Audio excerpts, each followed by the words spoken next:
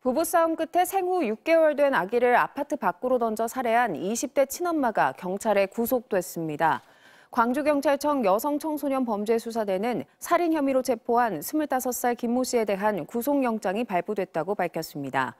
김 씨는 지난 3일 오전 6시쯤 광주 서구 금호동의 한 아파트 15층에서 생후 6개월 딸을 창밖으로 던져 숨지게 한 혐의를 받고 있습니다. 경찰 조사 결과 김 씨는 남편과 부부싸움을 하고 남편이 집을 나간 사이 화가 난다는 이유로 범행을 저지른 것으로 파악됐습니다.